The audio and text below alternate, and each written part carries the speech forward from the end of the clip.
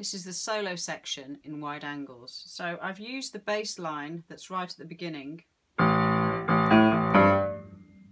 I've left a couple of bars rest there, mainly because it's quite cool, but also because if this is the first time you've improvised, you might like to use that space to play the right hand because coordinating two hands is always a bit tricky if you're not used to it, especially when you're improvising. So I'm just going to demonstrate that.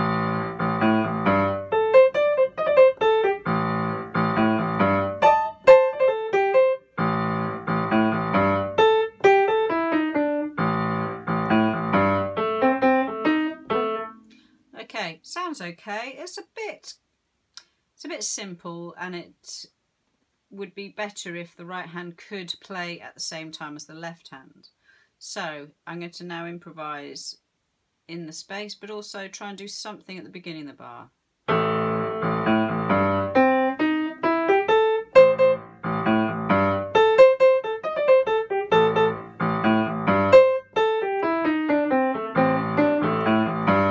So I was doing some simple things on the beginning of the bar. Sometimes I go or just hold a note.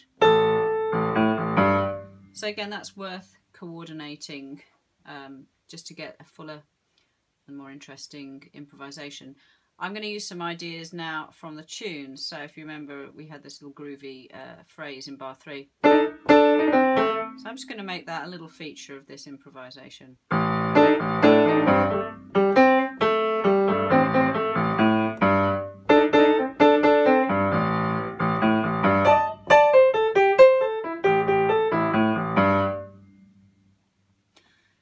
Do that with the other riff as well, bar six. I'm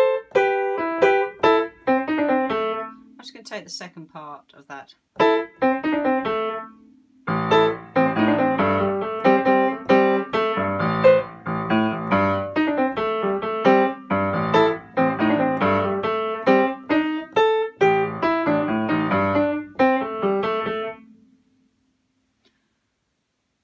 And the ideas of all been generated from the A blues scale. This is how the A blues scale sounds.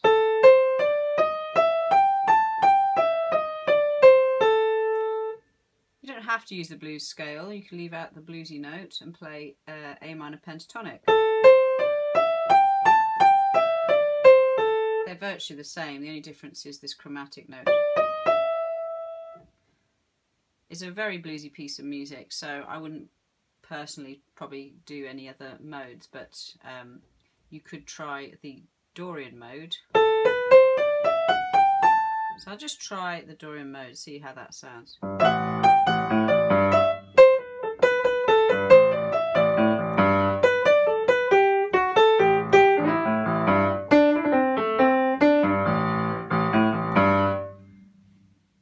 So you've got a few riffs, you've got some ideas from the actual tune. I'm just going to do one final improvisation without any rules or regulations and see what happens.